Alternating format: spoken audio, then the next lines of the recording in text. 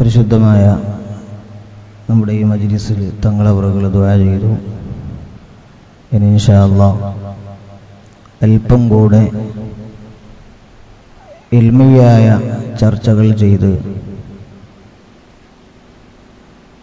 ദ്വാ ചെയ്ത് തബറുക്ക് വിതരണവും അവസാനമുണ്ടാകും.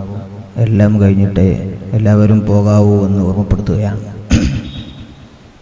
കൃത്യം പത്ത് മണിക്ക് ഇൻഷാല്ല നമ്മുടെ പരിപാടി അവസാനം ഞാൻ നേരത്തെ പറഞ്ഞു വന്നത് വിശുദ്ധ റമദാനിൽ നാം നേടിയെടുത്ത ആത്മീയമായ ചൈതന്യം. അത് മരണം വരെ കാത്തു സൂക്ഷിക്കാൻ നമ്മൾ ബാധ്യസ്ഥരാണ്. അല്ലെങ്കിൽ നമ്മൾ ചെയ്ത തോബ അള്ളാഹുവിനെ പരിഹസിക്കുന്ന തൂബയാണ്. ഒരു മനുഷ്യനെ അടിമുടി സംസ്കരിക്കുന്ന പ്രക്രിയയാണ് വിശുദ്ധ റമദാൻ. അതുകൊണ്ടല്ലേ? റമദാനിന്റെ രണ്ടാമത്തെ പത്തിൽ മഹഫറത്ത് ചോദിച്ച് മൂന്നാമത്തെ പത്തിൽ അഫവ് അള്ളാഹുവിനോട് ചോദിക്കുകയാണ്. രണ്ടാമത്തെ പത്തിൽ അള്ളാഹു യാ റബ്ബൽ ആലമീൻ. രണ്ടാമത്തെ പത്തിൽ അള്ളാഹുമ ഇന്നക തുഹിബ്ബുൽ അഫ്വ എന്ന് പറഞ്ഞാൽ പാപമോചനമാണ്. അഫുവ് എന്ന് പറഞ്ഞാലും വാസ്തവത്തിൽ പാപങ്ങൾ പുറത്തു തരുമ്പോഴാണ് വിട്ടുവീഴ്ച. അതാണ് അഫുവ് എന്ന് പറയുന്നത്. പിന്നെ എന്തിനാണ് രണ്ടാമത്തെ പത്തിൽ മഹഫറത്ത് ചോദിച്ച അടിമയെ കൊണ്ട് മൂന്നാമത്തെ പത്തിൽ അഫുവിനെ ചോദിപ്പിച്ചത് എന്നൊരു ചർച്ചയുണ്ട്. മഹാന്മാര് അതിന് വ്യാഖ്യാനം പറഞ്ഞത് മഹഫറത്ത് എന്ന് പറഞ്ഞാലും അഫുവ് എന്ന് പറഞ്ഞാലും രണ്ടും രണ്ടാണ്. മഹഫറത്ത് കിട്ടുക എന്ന് പറഞ്ഞാൽ ജീവിതത്തിൽ സംഭവിച്ചുപോയ പാപങ്ങൾ അള്ളാഹു കഴുകിക്കളയലാണ് മഹഫറത്ത് പക്ഷേ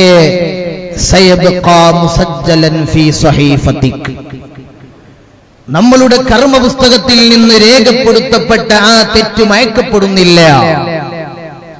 ദോഷമല്ല മാപ്പ് തരുന്നുണ്ട് പക്ഷേ ചെയ്ത ദോഷം മലായിക്കത്ത് രജിസ്റ്റർ ചെയ്യുന്നത് കർമ്മപുസ്തകത്തിൽ നിന്ന് ആ തെറ്റ് അള്ളാഹു ഡിലീറ്റ് ചെയ്ത് കളയുന്നില്ല. അതാണ് മഹഫറത്ത് എന്ന് പറയുന്നത്. അതേ അവസരത്തിൽ എന്ന് പറഞ്ഞാൽ എന്ന് പറഞ്ഞാൽ മഹഫറത്ത് ലഭ്യമാകലോട് കൂടെ നമ്മളുടെ കർമ്മ പുസ്തകത്തിൽ നിന്ന് ആ തെറ്റിനെ അള്ളാഹു ഇല്ലായ്മ ചെയ്യപ്പെട്ട ആ മനുഷ്യൻ പാപം ചെയ്യാത്തവനെ പോലെയായി ജനിച്ചു വീഴുമ്പോഴുള്ള സ്ഫടിക സമാനമായ ഒരു കുഞ്ഞന്റെ ഒരു ഭാവത്തിലേക്ക് ആ കുട്ടി മാറുകയാ. പ്രിയപ്പെട്ടവരെ അവിടെയാണ് ഞാൻ പറഞ്ഞതിന്റെ താല്പര്യം മഹഫറത്ത് അള്ളാഹു ഒരടിമക്ക് നൽകിയിട്ട് ആ അടിമയെ കൊണ്ട് അഫുവിനെ ചോദിപ്പിക്കുന്നതിലൂടെ ദോഷങ്ങൾ മുഴുവനും പൊറുപ്പിച്ച് അവന്റെ കർമ്മ പുസ്തകത്തിൽ നിന്നതിനെ മയച്ചു കളഞ്ഞിട്ടാണ് വിശുദ്ധ റമദാനിന് നമ്മൾ യാത്രയപ്പ് നൽകിയത്. അതുകൊണ്ടാണ് ഞാൻ പറഞ്ഞത് അടിമുടി സംസ്കരിച്ച് പുതിയൊരു മനുഷ്യനെ രൂപപ്പെടുത്തുന്ന പ്രക്രിയയാണ് വിശുദ്ധ റമദാൻ. പക്ഷേ ആ റമദാനിൽ ആർജിച്ചെടുത്ത ആത്മീയത കാത്തു സൂക്ഷിക്കാൻ കഴിയണം. അതിനെന്ത് വേണം നമ്മൾ നന്നായി ചിന്തിക്കണം അതുകൊണ്ടാണ് ചിന്തക്ക് വലിയ പ്രാധാന്യമുണ്ട് എന്ന് ഞാൻ പറഞ്ഞതിന്റെ താല്പര്യം. അവിടെയാണ് നബിസല്ലാഹു അലൈഹി നിങ്ങൾ തങ്ങൾ പറഞ്ഞത് ഒരു വർഷം അതിന്റെ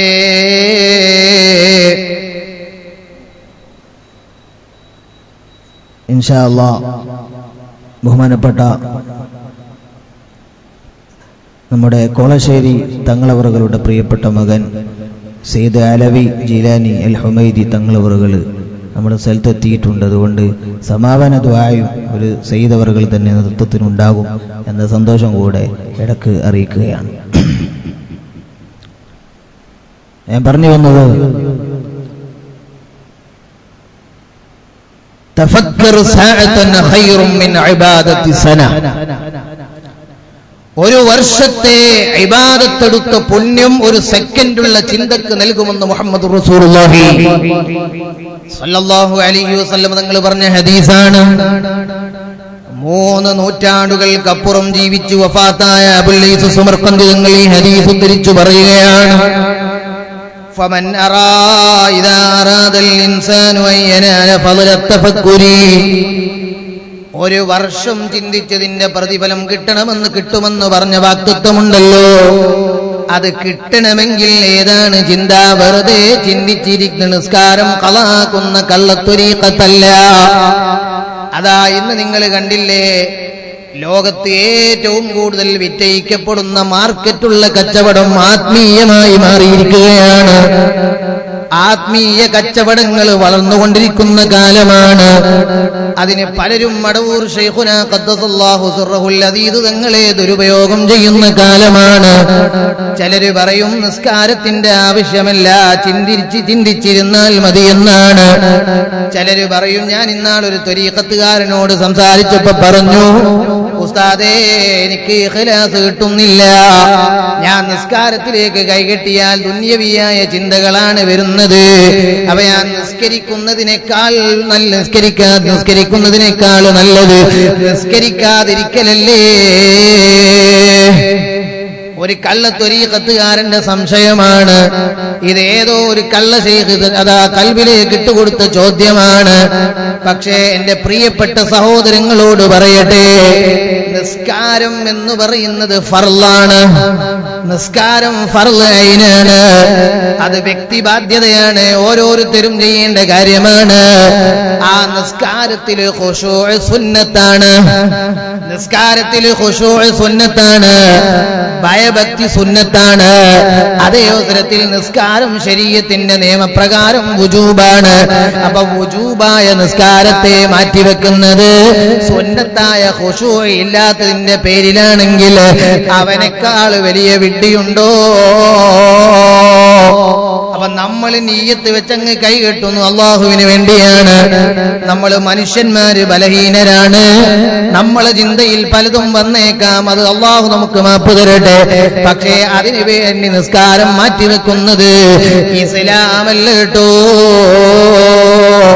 അപ്പൊ ഞാൻ പറഞ്ഞത് ഒരു വർഷത്തെ പ്രതിഫലം അല്ല ചിന്തക്ക് തരുമെന്ന് പറഞ്ഞാൽ നിസ്കാരം മാറ്റിയിട്ട് ചിന്തിച്ചിരിക്കണമെന്നുള്ള പ്രചോദനമല്ല.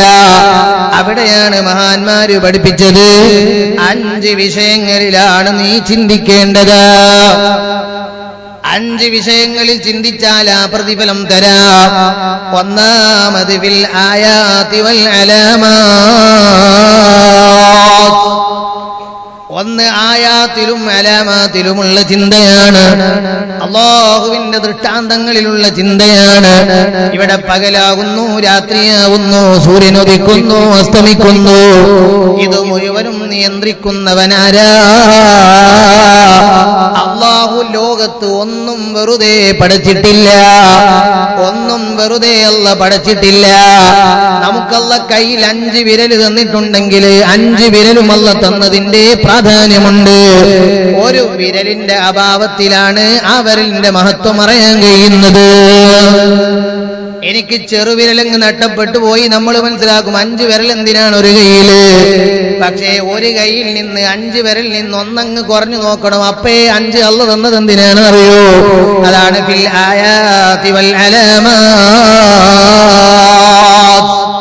വിശദീകരിക്കുന്നില്ല ഞാൻ വളരെ ചുരുക്കിയിട്ട് പറയാണ്. രണ്ടാമത് ഫിൽ ആലായി വൻ നിഅമാ. ആലാഹ് ചിന്തയാണ്. അവിടെയാണ് എന്റെ പ്രസംഗം നിർത്തിയത്.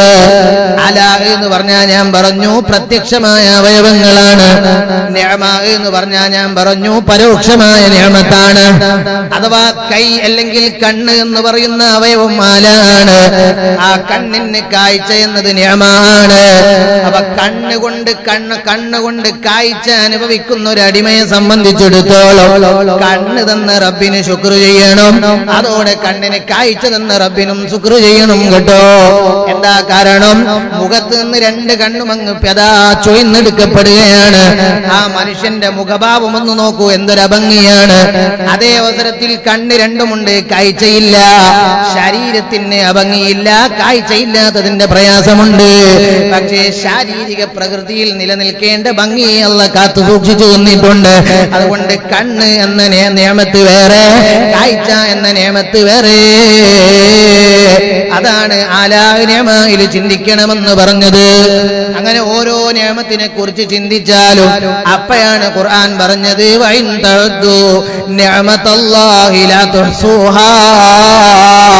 അള്ളാഹിന്റെ നിയമത്ത് എണ്ണിയിട്ട് തീർക്കാൻ കഴിയില്ല.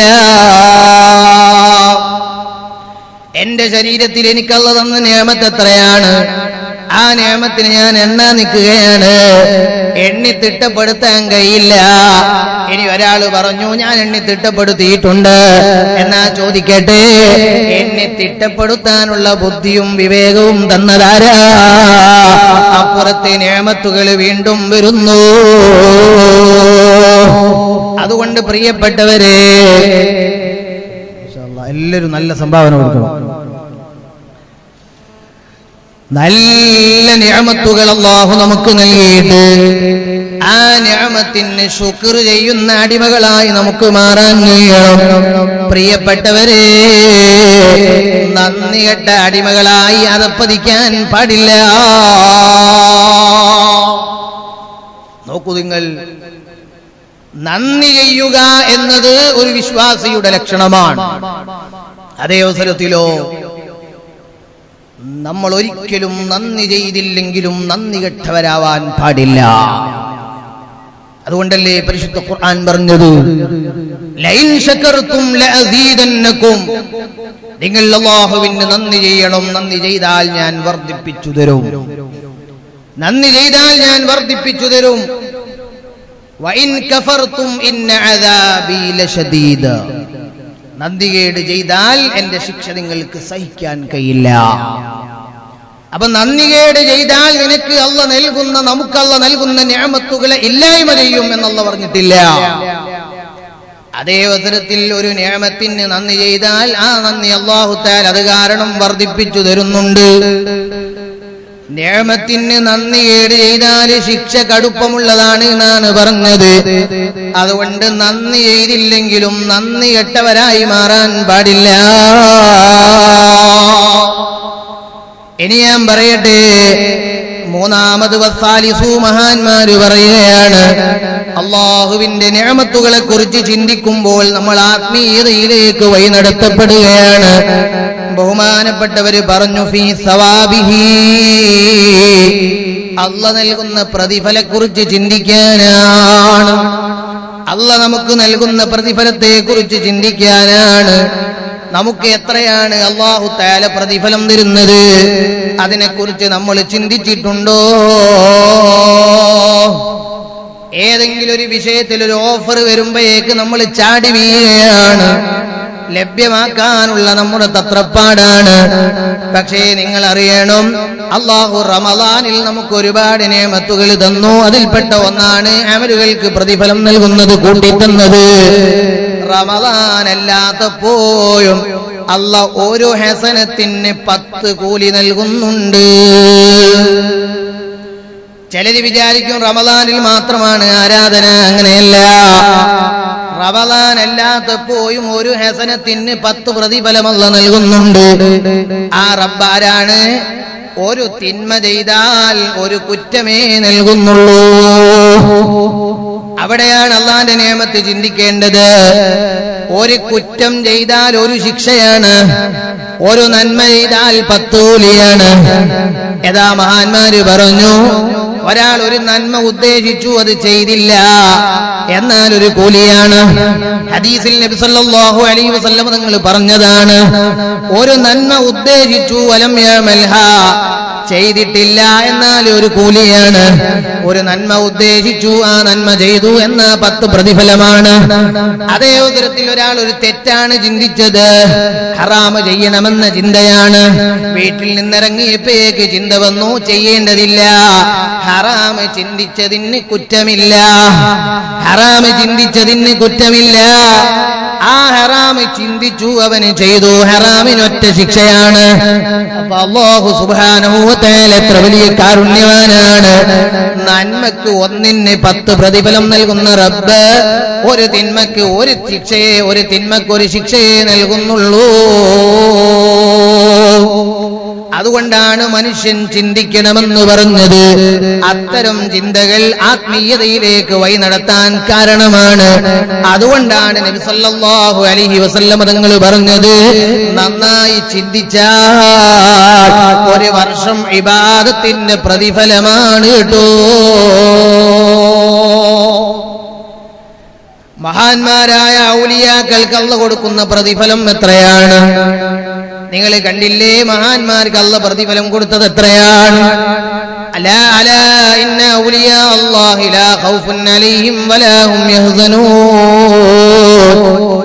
മഹാന്മാരാരാണെന്നറിയുമോ? അവർക്ക് രണ്ട് ലോകത്തും ഒരു ടെൻഷനും ഇല്ല. പരിശുദ്ധ ഖുർആൻ മഹാന്മാരുടെ മഹത്വം പറയുന്നുണ്ട്. ഇന്നല്ലദീന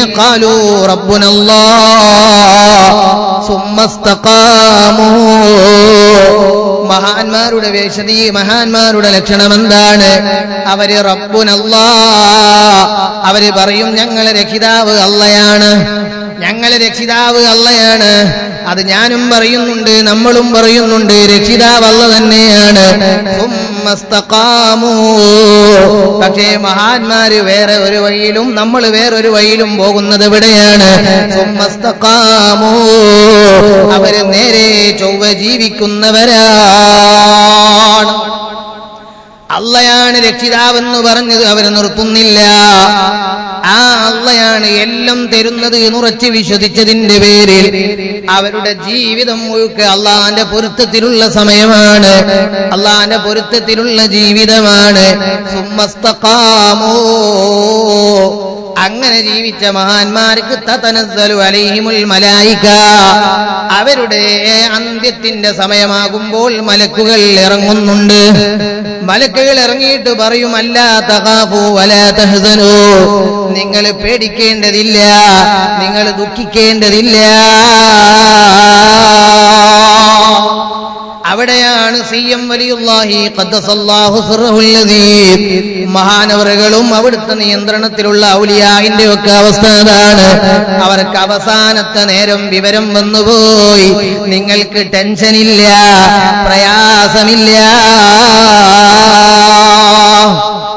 എന്തുകൊണ്ടാണ് അവർ ജീവിതത്തിൽ ഇസ്തിഖാമത്ത് കീപ്പ് ചെയ്തുകൊണ്ടാണ്. അഥവാ നേരെ ചൊവ്വയുള്ള ജീവിതമാണ്. ഒരു ദിവസം പതിനേഴു തവണ വിശ്വാസി പ്രാർത്ഥിക്കേണ്ട മുസ്തഖീം. എന്നെ നേരെ ചൊവ്വയുള്ള വഴിയിൽ വഴി നടത്തണേ അല്ലാ എന്റെ പ്രിയപ്പെട്ട വിശ്വാസികളെ വിശ്വാസിനികളെ മഹാന്മാരുടെ ഉറൂസിന്റെ വേദികളിൽ നിന്ന് ഏറ്റെടുക്കേണ്ട ഏറ്റവും വലിയ സന്ദേശം അവരുടെ ജീവിതം അവസാനിപ്പിച്ച് ബർസഹിയായ ഒരു ലോകത്തേക്ക് കടന്നുപോയപ്പോ വടവൂരിന്റെ മടിത്തട്ടിൽ നിന്ന് വർഷങ്ങൾ കഴിഞ്ഞിട്ടും എന്തുകൊണ്ടാണ് നമ്മൾ അവരെ അനുസ്മരിക്കുന്നത്? നമ്മുടെ നാട്ടിൽ വന്ന് പണച്ചാക്ക് സി എം വലിയുല്ലാഹി എറിഞ്ഞു തന്നതുകൊണ്ടല്ല. നമുക്ക് ഭവനങ്ങൾ ഉണ്ടാക്കി സഹായിച്ചു തന്നതുകൊണ്ടല്ല. നമ്മളുടെ മക്കളെ വിവാഹം ചെയ്തയക്കാൻ ക്യാഷ് തന്ന് സഹായിച്ചതുകൊണ്ടല്ല. എന്നിട്ടും അവ പരിശുദ്ധമായ മടവൂരിന്റെ മണ്ണിൽ വിശ്രമിക്കുന്ന മഹാനവറുകൾക്ക് വർഷങ്ങളേറെ കഴിഞ്ഞിട്ടും എന്തുകൊണ്ടാണ് ജനഹൃദയങ്ങളിൽ സ്ഥാനം കിട്ടിയത് എന്ന് ചോദിച്ച? പ്രപഞ്ചാധികാരിയായ പടച്ചറപ്പ് വിശ്വാസികളുടെ ഹൃദയങ്ങളിലേക്ക് ആ മഹാന്മാർക്ക് കൊടുത്തൊരു കബൂലിയത്ത. അതുകൊണ്ടാണ് ഹദീസിൽ പറഞ്ഞു ഒരു ആൾക്ക് അള്ളാഹു താല അംഗീകാരം കൊടുത്തതിന്റെ തെളിവാണ് അയാൾക്ക് നല്ല കബൂലിയത്ത് നൽകുന്നുണ്ട്. മഹാനരായ ഷെയ്ഖുന ഖമറുൽ ഉലമാ കാന്തപുരം ഉസ്താദ് അള്ളാഹു നൽകട്ടെ. മഹാനവറുകൾക്ക് കാന്തപുരം ഉസ്താദിന്റെ സ്വന്തം ജന്മനാട്ടിലല്ല. സ്വന്തം സ്റ്റേറ്റിലല്ല. രാജ്യത്തിന്റെ അതിർവരമ്പുകളെ ഭേദിച്ച് കാന്തപുരം ഉസ്താദ് ഒരു സവാരി ചെയ്താൽ എല്ലായിടങ്ങളിലും ഉസ്താദവറുകളെ നെഞ്ചോട് ചേർത്ത് സ്വീകരിക്കാൻ. ഉസ്താദ് ഉസ്താദവറുകളെ സന്തോഷിപ്പിക്കാൻ ആയിരങ്ങൾ പതിനായിരങ്ങൾ. ജനങ്ങളെ ഹൃദയത്തിൽ അള്ളാഹു താരവൃത്തേക്ക് കൊടുത്ത അംഗീകാരത്തിന്റെ ലക്ഷണമാണെന്ന് മുഹമ്മദ് റസൂലുള്ളാഹി സ്വല്ലല്ലാഹു അലൈഹി വസല്ലം. അതുകൊണ്ട് അത്തരം വിഷയങ്ങളോട് അസൂയ വെച്ച് അവനവന്റെ അമലുകൾ നശിപ്പിക്കുന്നതിന് പകരം അള്ളാനടുക്കൽ അവർ അലങ്കരിക്കുന്ന സ്ഥാനത്തെ പരിഗണിച്ചുകൊണ്ട് ദുനിയവിയായ ലോകത്തവരെ അവരെ അവരെ പരിഗണിക്കുകയും മാനിക്കുകയും ചെയ്താൽ അവനവന്റെ കബറിൽ സ്വസ്ഥമായി കിടക്കാമെന്ന് മാത്രമേ ഞാൻ ഉണർത്തുന്നുള്ളൂ. പ്രിയപ്പെട്ടവരെ മഹാന്മാർക്ക് അല്ല കൊടുത്ത പവറ് ജനഹൃദയങ്ങളിൽ അള്ളാഹുവർക്ക് സ്ഥാനം കൊടുക്കുകയാണ്. ആ സ്ഥാനത്തിന്റെ ഭാഗമാണ് നമ്മൾ അനുസ്മരിക്കുന്നത്. കണ്ടില്ലേ? അബ്ദുൽ ഖാദിറിൽ ബഗ്ദാദി അൽ ജീലാനി നിങ്ങൾ ആരാണ്? ഷെയ്ഖുന പരിസര പ്രദേശത്ത് ജീവിച്ച ആളാണ്. അതാ പലരും എന്റെ സദസ്സിൽ അവരെ കണ്ടവരാണ്. പക്ഷേ മതങ്ങളെ നമ്മൾ കണ്ടിട്ടുണ്ടോ? അവിടുത്തെ സ്വന്തം മക്കളെ നമ്മൾ കണ്ടിട്ടുണ്ടോ? നേരിട്ട് ശിഷ്യന്മാരെ പോലും നമ്മൾ കണ്ടിട്ടില്ല. എന്തേ അത്രയും ദൂരമുള്ള വിശ്രമിക്കുന്ന മഹാനവറുകളെ അനുസ്മരിക്കുന്നതെന്തേ? ജീവിതം മുഴുവനും ഇബാദത്തിലങ്ങ് മാറ്റിവെച്ച മഹാനരാ. അതുകൊണ്ട് ഞാൻ പറഞ്ഞു വന്ന വിഷയം അള്ളാഹുവിന്റെ ഓരോ നേമത്തുകളെയും ചിന്തിച്ചിട്ട് ആത്മീയമായ സ്വഭാവങ്ങളിലേക്ക് വരാനാണ് റോസിന്റെ വേദികളിൽ നിന്ന് മെസ്സേജുകൾ ഏറ്റെടുക്കേണ്ടത്. ഞാൻ പറയട്ടെ. മഹാന്മാരായ പണ്ഡിതന്മാര് പറഞ്ഞു. അപ്പൊ പ്രതിഫലത്തെ കുറിച്ച് ചിന്തിച്ചാലും ആത്മീയതയിലേക്ക് വഴി നടത്തപ്പെടുന്നുണ്ട്.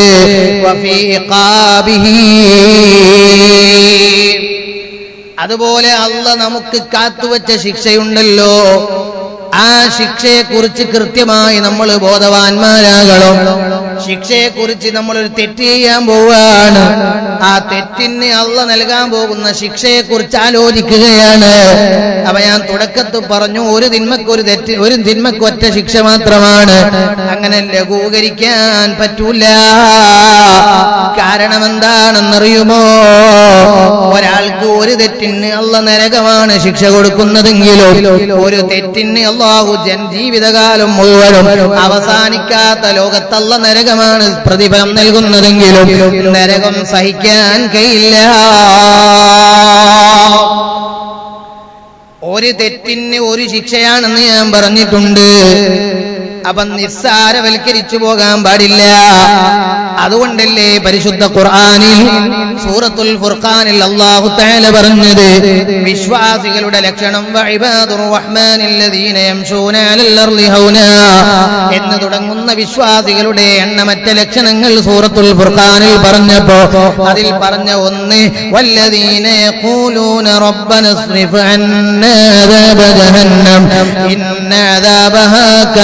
غراما إنها ساءت مستقرا ومقاما.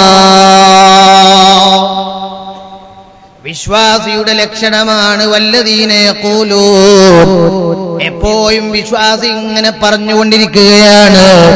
ഈ ആയത്ത് ഞാൻ പറയുന്നത് ഉമ്മമാരെ സൂറത്തുൽ ഫുർഖാനിന്റെ അറുപത്തിയാറോ അറുപത്തിയേഴോ ആയത്തുകളാണ്.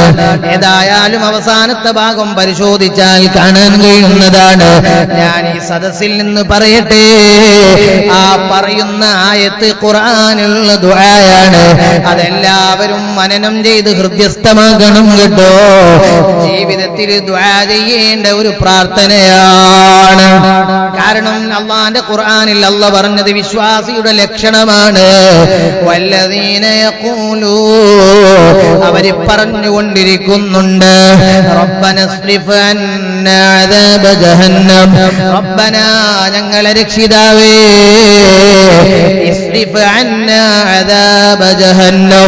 നരകത്തിന്റെ ശിക്ഷയെ എന്നെ തൊട്ട് തിരിച്ചു കളയണേ അല്ലാ നമ്മളുടെ നേരെ ഒരു അതാ ഒരു നാക്കാരി ഓടി വരികയാണ്. അല്ലെങ്കിൽ നമുക്ക് നേരെ ഒരു അക്രമകാരി ഉയർന്നതാ വരികയാണ്. അപ്പോൾ നമ്മൾ ദ്വാ ചെയ്യും അയാളെ തിരിച്ചുവിടണേന്നാണ് നമുക്കെതിരെ നേരെ വരുന്ന ആക്രമണങ്ങളെ. അങ്ങനെയാണ് കൈകാര്യം ചെയ്യുന്നത്. നേരെ വരുന്ന ഒരു വിഷയത്തെയാണ് തിരിച്ചുവിടാൻ ശ്രമിക്കുന്നതെങ്കിൽ നരകം നമ്മളുടെ കൂടെയുണ്ട് എന്ന സൂചനയാ. ഇസ്രിഫ് അന്നാ ഞങ്ങളുടെ നേരെ ചീറിപ്പാനി വരുന്ന നരകാഗ്നി എന്ന കുണ്ടി കുണ്ടാരത്തെ എന്നെ തൊട്ട് തിരിച്ചു വിടണേ അല്ലാ. അങ്ങനെ അങ്ങ് പറഞ്ഞു ദുആ ചെയ്ത് നിർത്തിയോ ഇല്ല.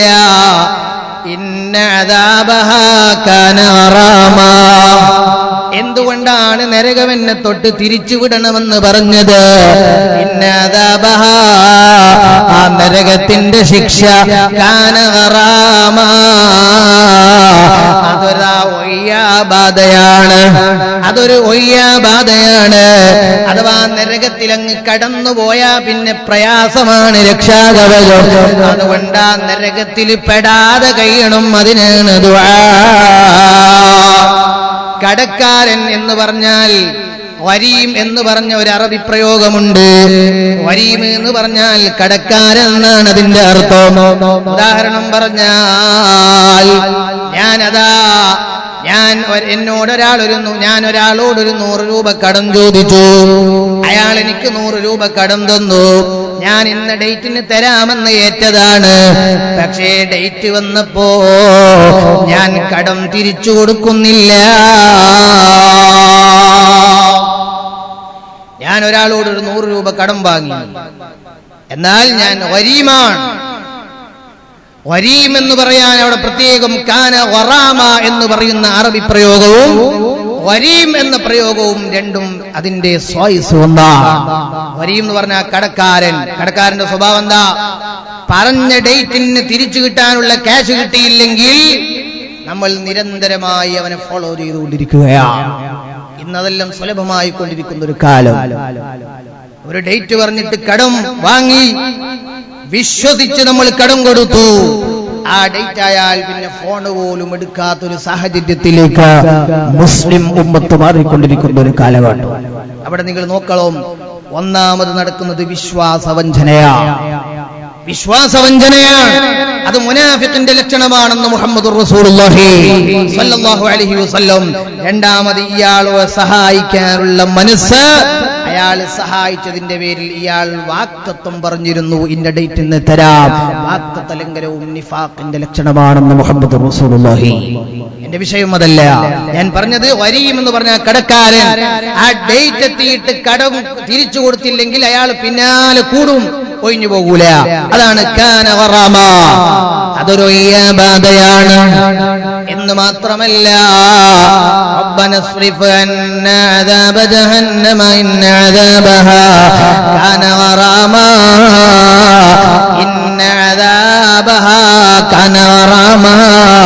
ഇന്ന اصرف عنا عذاب جهنم إن عذابها كان غراما إن عذابها كان غراما إنها ساءت مستقرا ومقاما ആ ദുആ വെറുതെ പഠിച്ചാ പോരാ അർത്ഥമറിഞ്ഞങ്ങ് ദുആ ചെയ്ത ഉമ്മമാരെ തെറ്റിയാൻ മനസ്സ് വരൂല കാരണം ഇന്നഹ ആ നരകമേതാണെന്നറിയുമോ സാഹത്ത് അതെത്ര മോശമാണ്. താൽക്കാലിക താമസക്കാർക്കും സ്ഥിര താമസക്കാർക്കും നരകം വളരെ മോശമാണ് കേട്ടോ. ഒരാൾ വീടെടുത്തത് എന്തിനാണ്? ആറു മാസത്തേക്ക് വാടകയ്ക്ക് താമസിക്കാനാണ്. താൽക്കാലിക താമസമാണ്. നമ്മളൊരു യാത്ര പോവുകയാണ്. വഴി മധ്യേ വെച്ചൊരു ലോഡ്ജിൽ റൂം എടുത്തതാണ്. അത് യാത്രാ മധ്യേ വയ്യമ്പലമാണ് കുറഞ്ഞ നാളത്തേക്കുള്ള താൽക്കാലിക താമസമാണ്. എന്നാ നമുക്ക് സ്വന്തം വീട് നിർമ്മിക്കുന്നുണ്ട്. പണി തുടങ്ങിയവരുണ്ട് ഉദ്ദേശിച്ചവരുണ്ട്. അള്ളാഹുവേ നീ പൂർത്തീകരിച്ചു കൊടുക്കണേ അല്ലാ എന്ന് പറഞ്ഞാ ഞാനത് പറഞ്ഞത് എന്തിനാണ് അവ താൽക്കാലിക താമസക്കാർക്കും സ്ഥിര താമസക്കാർക്കും നരകം വളരെ മോശമാണ് കേട്ടോ. എന്ന് പറഞ്ഞാൽ ഒരു ദിവസമാണ് ഒരു തെറ്റിന് അല്ല നരകത്തിലിടുന്നതെങ്കിൽ പോലും. അത് പറയാനാണ് ഞാൻ ഇത്രയും പറഞ്ഞത്. ഒരു തിന്മക്ക് ഒരു ശിക്ഷയാണ് ഒരു ദിവസത്തെ നരകമാണ് കണക്കാക്കിയതെങ്കിൽ പോലും. സഹിക്കാൻ കഴിയില്ല. അതാണ് താൽക്കാലിക താമസക്കാർക്കും നരകം സഹിക്കാൻ കഴിയുന്നതല്ല. അതും തങ്ങൾ അവസാനം നമുക്ക് ദുവാ ചെയ്തു തരും.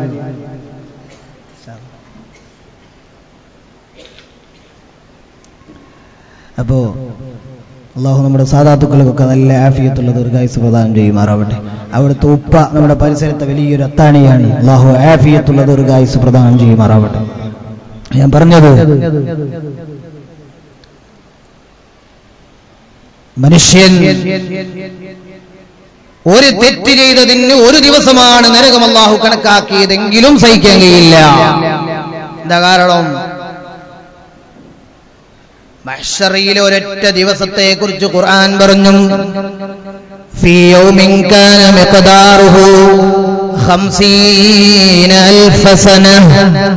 നരകത്തിലെ മഷറിലെ ഒരൊറ്റ ദിവസം അമ്പതിനായിരം കൊല്ലത്തെ ദൈർഘ്യമാണ്.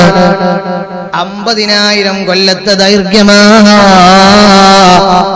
ഇവിടെ തന്നെ എഴുപത്തിയഞ്ച് വയസ്സ് പ്രായമുള്ള വാപ്പ ചിന്തിക്കുന്നത് എത്ര കൊല്ലമായി ഞാൻ ഇവിടെ ജീവിക്കാൻ തുടങ്ങിയിട്ട് എന്നാണ് എഴുപത്തഞ്ചല്ല അമ്പതല്ല. അമ്പതിനായിരം വർഷത്തെ ദൈർഘ്യമുണ്ട് ഒരു ദിവസത്തിന്.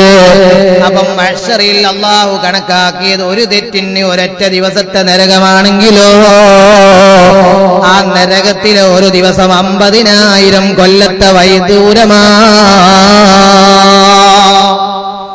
അതുകൊണ്ടാണ് സാഅത്ത് മുസ്തഖറൻ താൽക്കാലിക താമസക്കാർക്കും മോശമാണ്. സ്ഥിര താമസക്കാർക്കും നരകം മോശമാണ് കേട്ടോ. താൽക്കാലിക താമസക്കാരാരാണ്? മോമിനീങ്ങളിൽ നിന്ന് തെറ്റ് ചെയ്തു പോയവരാണ്. അഥവാ അവർ തെറ്റ് ചെയ്താൽ അമ്പിയാക്കളുടെ റെക്കമെന്റ് മുഖേന പിന്നീട് സ്വർഗത്തിലേക്ക് പോകുന്നുണ്ട്. പക്ഷേ മരണസമയം ഹുസ്നുൽ ഖാത്തിമ വേണം. ഇല്ലല്ലെന്ന കലിമ ചൊല്ലിയിട്ട് മൗത്താകാൻ കഴിയണം. അള്ളാഹു നമ്മുടെ ആക്തിപത്ത് നന്നാക്കി തരട്ടെ. അങ്ങനെ ആക്തിപത്ത് നന്നായി മരിച്ചൊരു മനുഷ്യനാണോ? ആ മനുഷ്യന് നരകത്തിലെ ശിക്ഷയുടെ കാലാവധി കഴിഞ്ഞ അമ്പിയാക്കളുടെ റെക്കമെന്റ് മുഖേന സ്വർഗത്തിലേക്ക് പ്രമോഷൻ അനുവദിക്കുന്നുണ്ട്. എന്നാൽ അതുമല്ലാത്ത കുഫാറുകളുണ്ട് മുനാഫിക്കീങ്ങളുണ്ട് സത്യത്തിന്റെ വഴി അതാ വ്യക്തമായിട്ട് പോലും അതിലേക്ക് തിരിഞ്ഞു കളഞ്ഞ ആളുകളുണ്ട്. അവർക്ക് കാലകാലം നരകം തന്നെ. അതുകൊണ്ട് ഈ ദുആ വിശ്വാസിയുടെ ലക്ഷണമാണെന്ന് ഖുർആൻ പറഞ്ഞതാണ്. അതുകൊണ്ട് എല്ലാവരും ആ ദുആ പഠിക്കണം. ഉമ്മമാരെ പ്രത്യേകം ഞാൻ ഓർമ്മപ്പെടുത്തുകയാണ്. അതുകൊണ്ട് നന്നായി ശിക്ഷ ചിന്തിച്ചാൽ മനുഷ്യൻ ആത്മീയമായി ശുദ്ധീകരിക്കപ്പെടുന്നു. അതുകൊണ്ടല്ലേ ബഹുമാനപ്പെട്ട സാബിത്ത് ബിനു ഖൈസ് റളിയല്ലാഹു അൻഹു ആണെന്നാണ് എന്റെ ഓർമ്മ. ഒരു ദിവസം ആയിരം റക്കായത്ത് നിസ്കരിക്കുന്നു മഹാനവറുകൾ. ഒരൊറ്റ ദിവസം ആയിരം റക്കായത്ത് നിസ്കരിക്കുന്നുണ്ട്. പക്ഷേ മഹാനവറുകൾ രാത്രി നിലവിളിക്കുകയാണ്. പൊട്ടി പൊട്ടിക്കരയുകയാ എന്തേ മഹാനവറുകളെ നിങ്ങൾ കരയുന്നത് ആയിരം റക്കായത്ത് ഒരു ദിവസം നിസ്കരിക്കുന്ന ആളല്ലേ? അവിടുന്ന് പറഞ്ഞത് ഇന്നമായ മിനൽ ഞാൻ ആയിരം റക്കായത്ത് നിസ്കരിച്ചിട്ടുണ്ടാണ്. അത് അള്ള സ്വീകരിച്ചില്ലെങ്കിലോ? അപ്പോഴും അവർ ചെയ്ത അമലിന്റെ വണ്ണത്തിലോ വലിപ്പത്തിലോ ആശ്വസിക്കുകയില്ല. ചെയ്ത അമലുകളിലെ പോരായ്മകളിലേക്ക് കണ്ണുവെച്ചിട്ട് ഒരു റമദാൻ ജീവിതത്തിൽ ഒന്നല്ല പലതവണ റമദാൻ കഴിഞ്ഞതാണ്. എത്രയോ റമദാൻ വന്നിട്ട് പോലും നന്നാകാൻ കഴിഞ്ഞില്ലെന്ന ചിന്തയിലാണ് മഹാന്മാർ. അതുകൊണ്ട് നമുക്കൊരിക്കലും തന്നെ ചെറിയ അമലുകൊണ്ട് സമാധാനത്തിന് വകുപ്പില്ല. ജീവിതത്തിൽ ആത്മീയ വഴിയിൽ ഉറച്ചു നിൽക്കാനുള്ള നിരന്തരമായ ശ്രമം തന്നെ. കൊണ്ടുപിടിച്ച ശ്രമം തന്നെ.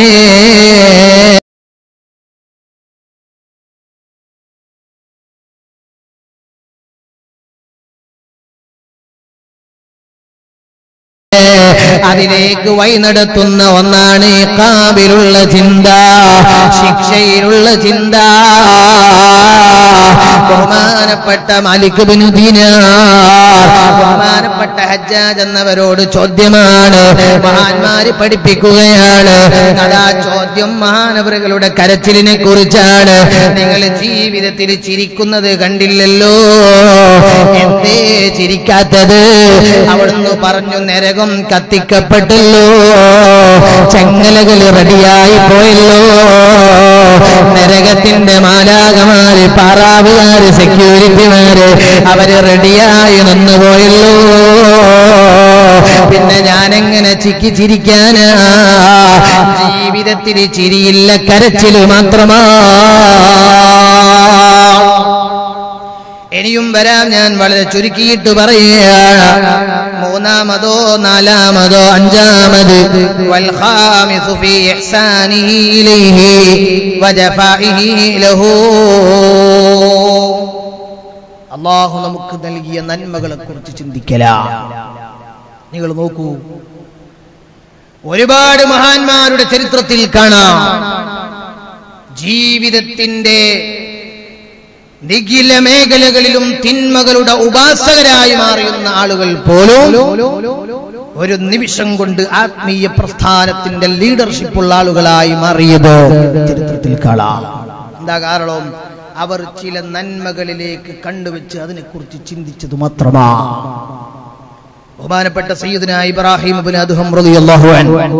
ഔലിയാക്കളുടെ വലിയ നേതാവാ.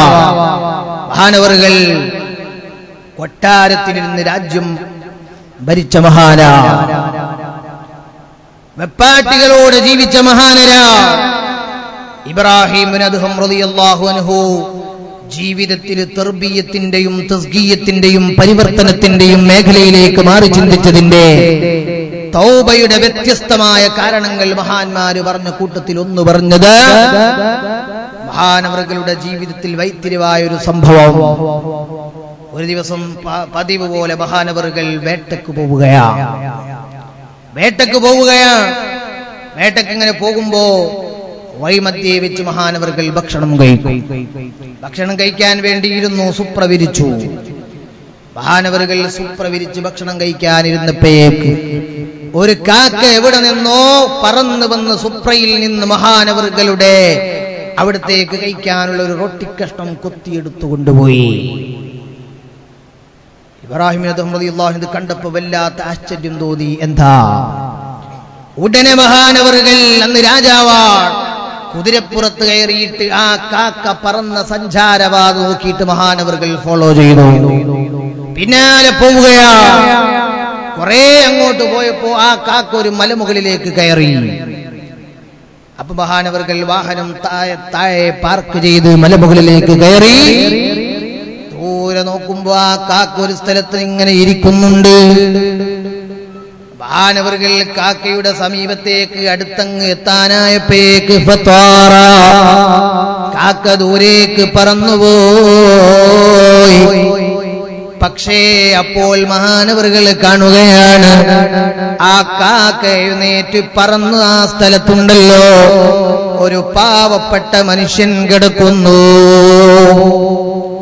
ആ മനുഷ്യൻ മഷ്ദൂദുൽ യദൈനി വൽരിജ്ലൈൻ കൈകാലുകൾ എല്ലാം ബന്ദ് ചെയ്യപ്പെട്ടൊരു വ്യക്തിയാണ്. കൈയും കാലുമൊക്കെ കൂട്ടിയിട്ട് കെട്ടിയിട്ടുണ്ട്. മലർന്നങ്ങനെ കിടക്കുന്നുണ്ട്. ആരാരുമില്ലാത്ത മലമുകളിലാണ്. ഇബ്രാഹിമിന് അത് തങ്ങൾ നോക്കുമ്പോ കാക്കയങ്ങ് പോയി കണ്ടത് ഇയാളെയാണ്. നേരെ ചെന്ന് ആ മനുഷ്യന്റെ കൈകാലുകളിലുള്ള കെട്ടുകളെ ആ ഇബ്രാഹിമിന് അത് ഹന്തങ്ങളെ അയച്ചു കൊടുക്കുകയാ. കെട്ടുകളെല്ലാം അയച്ചു കൊടുത്തു. മാനവറുകൾ നോക്കുമ്പോ ഈ മനുഷ്യനോട് ചോദിച്ചു നിങ്ങളെ ഹിസ്റ്ററി ഒന്ന് പറഞ്ഞു തരണം. എങ്ങനെയാണ് നിങ്ങൾ ഇവിടെ എത്തിയത്? ആരാണ് നിങ്ങളെ കെട്ടിയിട്ടത്? ആ മനുഷ്യൻ പറഞ്ഞു ഞാനൊരു നിരപരാധിയാണ്. ഞാനൊരു നിരപരാധിയാണ്. ഞാൻ ആരെയും ആക്രമിക്കാൻ പോയിട്ടില്ല. ഒരാളെയും ഒരു പ്രയാസപ്പെടുത്താനും ഞാൻ പോയിട്ടില്ല. എന്റെ സൈനികന്റെ ജീവിതമാർഗം കച്ചവടമാണ്. ഞാനൊരു കച്ചവട സംഘത്തിൽ ഇങ്ങനെ യാത്ര ചെയ്യുമ്പോ കൊള്ളക്കാര് വന്നതാണ്. വഴിമധ്യേ എന്റെ സാധനങ്ങൾ മുഴുവനും കൊള്ളയടിച്ചിട്ട് എന്റെ എല്ലാ സാധനങ്ങളും അവന് അപഹരിച്ചു പോയി. പക്ഷേ എന്നെ കൊന്നിട്ടില്ല.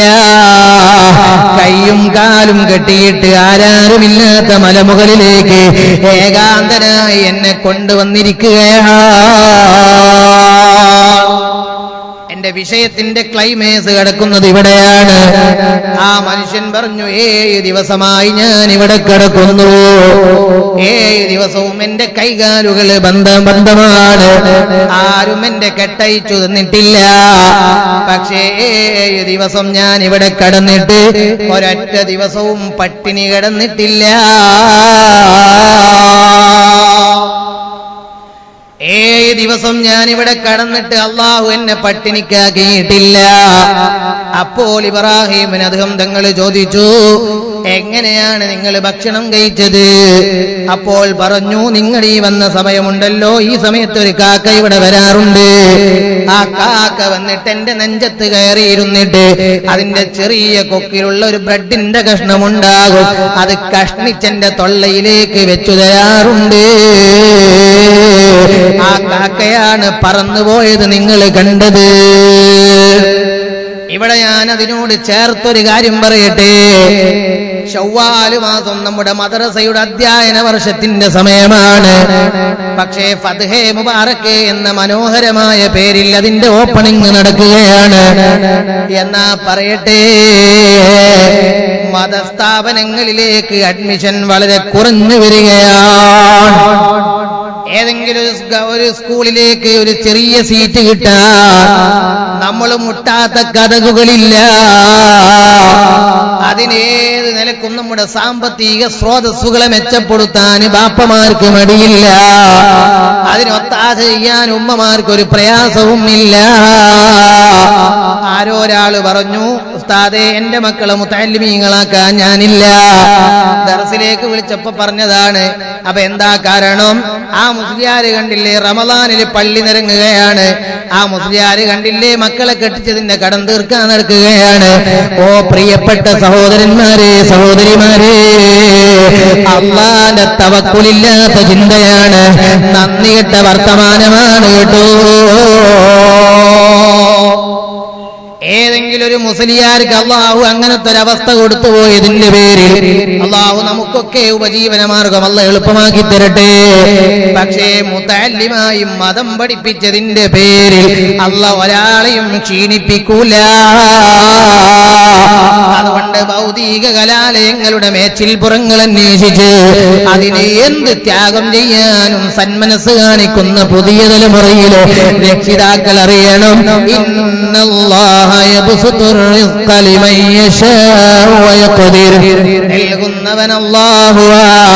അള്ളയാണ് വിശാലമാക്കി തരുന്നവർ. അള്ളയാണ് നിന്റെ ജീവിതം കൊടുസാക്കുന്നവർ. നീ അതാ നിന്റെ മകന് വലിയ എഞ്ചിനീയർ ആക്കിയിട്ടുണ്ട് ഉപജീവന മാർഗം ഒരു ദിവസം മുന്നോട്ട് കൊണ്ടുപോകാൻ കഴിയുമെന്ന് ഗ്യാരണ്ടി പറയാൻ ഒരു ഒരു എഞ്ചിനീയർക്ക് കഴിയുമോ? എന്നാൽ നിങ്ങൾ നോക്കൂ അള്ളാന്റെ തോഫീക്കോട് കൂടി ഉസ്താദുമാര് ചെറിയ ശമ്പളം കൊണ്ട് വലിയ ഒത്താ- വലിയ അന്തസ്സുള്ള ജീവിതം നയിക്കുന്നുണ്ട്. അത് വേറെ വിഷയമാണ്. ഞാൻ പറഞ്ഞതിന്റെ താല്പര്യം മതം പഠിപ്പിച്ചതിന്റെ പേരിൽ അന്നം മുട്ടിപ്പോകുമെന്ന അലിഖിത നിയമം തിരുത്തേണ്ടതാണ്. കാരണം തരുന്നവൻ അള്ളാഹുവാണ് തടയുന്നവൻ അള്ളാഹുവാണ് എന്ന ചിന്ത കുറഞ്ഞു പോയിട്ടോ. അതുകൊണ്ടാണ് ഇബ്രാഹിമിന് അദ്ദേഹം തങ്ങൾ കാണുന്നത്. ഈ മനുഷ്യൻ ഏഴ് ദിവസം ഇവിടെ കടന്നു പക്ഷേ പട്ടിണി കിടന്നില്ല അയാൾ നിരപരാധിയാണ്. അയാൾ ഒരാളെയും ആക്രമിച്ചിട്ടില്ല. മതലൂമിന്റെ ദ്വാള അങ്ങ് സ്വീകരിച്ചതാകണം. എല്ലാ ദിവസവും ഭക്ഷണം അള്ളാഹു സപ്ലൈ ചെയ്തു കൊടുക്കുന്നു. ഒരു കാക്കയെ കൊണ്ട് അദ്ദേഹത്തിന്റെ വിശപ്പ് അള്ളാഹു അടക്കി കൊടുത്തു. തരുന്നവരും തടയുന്നവരും അള്ളാഹു ആണെന്ന ചിന്തയില്ലാത്തത് കൊണ്ടാണ് അത്തരം വർത്തമാനങ്ങൾ. ഞാൻ പറയുന്നത് അള്ളാഹു നമുക്ക് നൽകിയ നന്മകളെ കുറിച്ച് ചിന്തിക്കുമ്പോൾ ചില മഹാന്മാർ ആ മലമുകളിൽ നിന്ന് ഇബ്രാഹിമിന് അദ്ദേഹം ഹൃദയാന്തരത്തിൽ പരിവർത്തനം തുടങ്ങുകയാണ്. അവിടുന്ന് മഹാനവർകൾ കൊട്ടാരത്തിലേക്ക് വന്നിട്ട് ഇനി കൊട്ടാരം വേണ്ട. വെപ്പാട്ടികൾ വേണ്ട. ജീവിതത്തിന്റെ സുഖാർഭാടങ്ങളെ മുഴുവനും വലിച്ചെറിഞ്ഞ് ഒരു പരിത്യാഗിയായി പ്രപഞ്ചാധികാരിയുടെ ആത്മീയ സ്വഭാനത്തിലേക്ക് വഴി നടത്തപ്പെട്ട മഹാൻ അവിടെയാണ് ഇബ്രാഹിം ചരിത്രത്തിലേക്ക് മഹാനവർകൾ വരുന്നത്. അതുകൊണ്ട് അള്ളാഹുവിന്റെ ഞാമത്തുകളെ കുറിച്ച് ചിന്ത അള്ളാഹുവിലേക്ക് വഴി നടത്താൻ കഴിയണം. മഹാന്മാര് പറഞ്ഞിട്ട് പറഞ്ഞു ആറാ അഞ്ച് വിഷയങ്ങളിൽ ഞാൻ ഇപ്പോൾ ഇവിടെ പറഞ്ഞു. ഇത്തരം വിഷയങ്ങളിലൊക്കെ ചിന്തിച്ചാൽ അള്ളാഹു അതുകൊണ്ട് നമുക്ക് നൽകുന്ന ഫലം എന്താണെന്ന് ചോദിച്ചാൽ നമുക്ക് നല്ല ഒരു ജീവിതം കെട്ടിപ്പടുക്കാൻ കഴിയും. വിശുദ്ധ റമദാനിൽ ആർജിച്ചെടുത്ത ആത്മീയമായ ആ ചൈതന്യത്തെ നിലനിർത്തിക്കൊണ്ടുപോകാൻ കഴിയും. നിങ്ങൾ നോക്കൂ ഒറ്റ കാര്യം കൂടെ പറഞ്ഞിട്ട് ഇൻഷാല്ല ഞാൻ അവസാനിപ്പിക്കും. ബഹുമാനപ്പെട്ട മഹദിയായ ബീവി റളിയല്ലാഹു കൂട്ടത്തിൽ ഉന്നത സ്ഥാനീയരാണ് മഹദിയവറുകൾ ബഹുമാനപ്പെട്ട സൈനത്തി മഹദൂബ് റളിയല്ലാഹു അൻഹു പറയുന്ന സംഭവം കാണാം. മഹദിയുടെ പ്രിയപ്പെട്ട ഭർത്താവ് വഫാത്തായി പോയി ഇബ്രാ ബഹുമാനപ്പെട്ട റാബിയത്തുൽ അദവിയ റളിയല്ലാഹു അൻഹായുടെ ഭർത്താവ് വഫാത്തായി പോയി അങ്ങനെ ഒരു ദിവസം റാബിയത്തുൽ അദവിയുടെ ചാരത്തേക്ക് ഹസനുൽ ബസരി ഒരു സംഘം ആളുകളും വരികയാണ് എന്നിട്ട് ആവശ്യമെന്താ? മഹദിയുടെ ഇദ്ദയൊക്കെ കഴിഞ്ഞു. ഇദ്ദ കഴിഞ്ഞാൽ പിന്നെ അടുത്ത വിവാഹാന്വേഷണം അനുവദനീയമാണ് ഇസ്ലാമിൽ. ഹസനുൽ ബസരി തങ്ങൾ റാബിയത്തുൽ അദവിയ മഹദിയുടെ വീടിന്റെ പടിക്കൽ വന്നിട്ട് പറഞ്ഞു ഞങ്ങൾ ഒരു സംഘം സാഹിദീങ്ങളാണ്. ഒരു സംഘം സാഹിര്യങ്ങളാണ് ഞങ്ങൾക്ക് ഞങ്ങളിൽ നിന്ന് ഒരാളെ നിങ്ങളുടെ ഭർത്താവായി നിങ്ങൾക്ക് സ്വീകരിക്കാം. നിങ്ങളുടെ ഭർത്താവ് മരണപ്പെട്ടു പോയല്ലോ. ഇനി ഞങ്ങളെ കൂട്ടത്തിൽ ഒരാളെ നിങ്ങൾക്ക് ഭർത്താവായി സ്വീകരിക്കാം.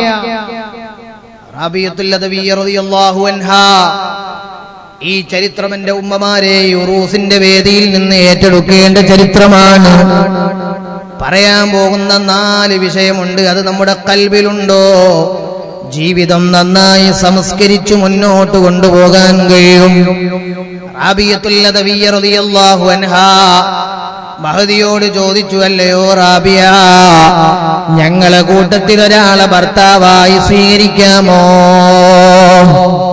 മഹദി പറഞ്ഞു ഓക്കേ ഞാൻ സ്വീകരിച്ചോളാം. പക്ഷേ നിങ്ങളെ കൂട്ടത്തിൽ ഏറ്റവും വലിയ ദാഹിദാരാ ഏറ്റവും വലിയ പരിത്യാഗിയാരാ അപ്പൊ പറഞ്ഞു ഹസനുൽ ബസരി റളിയല്ലാഹു അൻഹു ആണ്. ഹസനുൽ ബസരി തങ്ങൾ താപീയങ്ങളിൽപ്പെട്ട മഹാനാണ്. അഥവാ സ്വഹാബത്തിനെ കണ്ട മഹാന്മാർക്കാണ് താപീയങ്ങൾ എന്ന് പറയുന്നത്. നേരിട്ട് കണ്ട് വിശ്വസിച്ചവർക്കാണ് സ്വഹാബിമാരെന്ന് പറയുന്നത്. സ്വഹാബത്തിനെ കാണാൻ കഴിഞ്ഞവർക്കാണ് താപീയങ്ങൾ എന്ന് പറയുന്നത്. അവരിൽപ്പെട്ട മഹാനരാണ് മഹാനരായ ഹസനുൽ ബസരി തങ്ങൾ അപ്പൊ നിങ്ങൾ മനസ്സിലാക്കും ഒരു ഭർത്താവ് നട്ടപ്പെട്ട പെണ്ണിനോട് വിവാഹാന്വേഷണം നടത്താൻ വരുമ്പോ ഭൗതിക ചിന്തയിലല്ല. കേവലം റാബിയ അദവിയ റളിയല്ലാഹു അൻഹായുടെ സൗന്ദര്യത്തിൽ കണ്ണുവെച്ചല്ല മഹദിയുടെ സ്വത്തിൽ കണ്ണുവെച്ചല്ല അവിടുന്ന് സമുദ്ധരിക്കപ്പെട്ട ആത്മീയ ലോകത്തെ ഉന്നത സ്ഥാനീയരാണ്. അവിടുത്തെ കൂടെ നിൽക്കുമ്പോ സ്വർഗത്തിലേക്ക് ഇടം എളുപ്പമാണെന്ന വിശ്വാസമാണ്. ബഹുമാനപ്പെട്ട ഹസനുൽ ബസരി തങ്ങൾ വന്നത്. ചോദിച്ചു എന്നെ വിവാഹം ചെയ്യാമോ? അപറാവിയത്തുല്ലതവിയ ബീവി പറയാണ് നാല് ചോദ്യം എനിക്കുണ്ട് എന്റെ ജീവിതത്തിൽ ബാക്കിയാ. നാല് ചോദ്യത്തിന് മറുപടി പറയാൻ കഴിയുമോ? എന്റെ ഭർത്താവായി ഞാൻ സ്വീകരിക്കാം. പക്ഷേ നാല് ചോദ്യത്തിന് മറുപടി പറയാമോ? ഹസനുൽ ബസരി തങ്ങൾ പറഞ്ഞു അള്ളാന്റെ തോഫീക്കുണ്ടെങ്കിൽ ഞാൻ പറയാ. ആ മഹദി അവറുകൾ ചോദിക്കാണ് ഈ നാല് ചോദ്യം ഉമ്മമാരെ കൽബിൽ എഴുതി വെച്ചോ? കൂട്ടുകാരെ കൽബിൽ സൂക്ഷിച്ചു വെച്ചോ? ഒന്നാമത് മഹാമഹദി അവറുകൾ ചോദിക്കാണ് ഞാൻ എന്റെ പ്രിയപ്പെട്ട ഭർത്താവ് മരിച്ചുപോയി. എന്റെ ഭർത്താവ് മരിച്ചുപോയി. അതേപോലെ ഞാനും ഒരു ദിവസം മരിക്കാൻ പോവുകയാണ്. ഞാൻ മരിക്കുമ്പോ ഈമാന് കിട്ടി മരിക്കുമോ കാഫിറായി ചത്തുപോകുമോ? എന്റെ മരണം അവസാനം നല്ല മരണമാണോ അല്ലയോ? റാബിയത്തുല്ലതവിയുടെ ചിന്തയാണ് ചോദ്യമാണ്. ഹസനുൽ ബസരി തങ്ങൾ പറഞ്ഞു അത് വൈബായൊരു ചോദ്യമാണ് എനിക്ക് പറയാൻ കഴിയില്ല. എന്തുകൊണ്ടാണ് റാബിയത്തുല്ലതവി അത് ചോദിക്കാൻ കാരണം? നോക്കൂ നിങ്ങൾ. മുസ്ലിമായി ജീവിച്ചു മുസ്ലിമായി ജനിച്ചു. മുസ്ലിമായി ജനിച്ചു മുസ്ലിമായി ജീവിച്ചു മുസ്ലിമായി മരിച്ചു. അങ്ങനെ ഒരു വിഭാഗം ജനങ്ങളുണ്ട്. ചില ആളുകൾ മുസ്ലിമായി ജനിക്കുന്നു. കാഫറായി ജീവിക്കുന്നു മുസ്ലിമായി മരിക്കുന്നു. അങ്ങനെയും ചില ആളുകളുണ്ട്. അതുപോലെ ചില ആളുകൾ കാഫറായി ജനിക്കുന്നു മുസ്ലിമായി ജീവിക്കുന്നു മുസ്ലിമായി മരിക്കുന്നു. അങ്ങനെയും വിഭാഗമുണ്ട്. അപ്പൊ അവസാനം നന്നാകുക എന്ന് പറഞ്ഞാൽ വലിയൊരു വിഷയമാണ്. ആക്കിബത്ത് നന്നായി കിട്ടാൻ വേണ്ടി എപ്പോഴും ദുആ ചെയ്യേണ്ടതാണ്. ഹസനുൽ ബസരി തങ്ങൾ പറഞ്ഞു മറുപടി പറയാൻ കഴിയില്ല രണ്ടാമത്തെ ചോദ്യമാണ് ഞാൻ മരിച്ച് കബറിലെത്തിയാലോ ആ കബറിൽ എനിക്ക് എന്നോട് മുങ്കറിന് കീറിന്റെ ചോദ്യമുണ്ട്. ആ ചോദ്യത്തിന് മറുപടി പറയാൻ കഴിയുമോ? എന്താണതിന്റെ മറുപടി? ഹസനുൽ ബസരി തങ്ങൾ പറഞ്ഞു മറുപടി പറയാൻ കഴിയില്ല. നിങ്ങൾക്ക് കബറിൽ മറുപടി ഉണ്ടോ? ഇല്ലേ എനിക്കറിയില്ല. മൂന്നാമത്തെ ചോദ്യം ആ കബറിൽ നിന്ന് മഷറിയിലേക്ക് വരുമ്പോൾ ഒരു ചോദ്യമുണ്ട് എവിടെ? കിതാബിന്റെ വിതരണം നടക്കുന്നുണ്ട്. ആ കിതാബ് വിതരണം ചെയ്യുമ്പോ വലം കൈയിലും ഇടം കൈയിലും കിട്ടുന്നുണ്ട്. എന്റെ വലം കൈയിലാണോ? ഇടം കൈയിലാണോ? അസറുൽ ബസരി തങ്ങൾ പറഞ്ഞു അതും എനിക്ക് പറയാൻ കഴിയില്ല. നാലാമത്തെ ചോദ്യം മഷറയിൽ നരക സ്വർഗ വിഭജനം നടക്കുന്നുണ്ട്. അപ്പോൾ ഞാൻ നരകാവകാശിയോ സ്വർഗാവകാശിയോ? ബീവി ചോദ്യമാണ് ഹസനുൽ ബസരി തങ്ങൾ പറഞ്ഞു മറുപടിയില്ല. ആ റാബിയത്തുല്ലതവിയെ ജീവിതത്തെ മുന്നോട്ട് കൊണ്ടുപോകുന്നത് ഈ നാല് ചിന്തയിലായി നടത്തപ്പെടുന്നുണ്ട്. അൽഹംദുലില്ല. ഈ പരിപാടിയിലും ഇതുമായി ബന്ധപ്പെട്ട് മഹാനായ സയ്യിദ് സ്വാലി തുറാബ് തങ്ങൾ നമ്മൾ നേരത്തെ ഇവിടെ ദ്വാ ചെയ്തു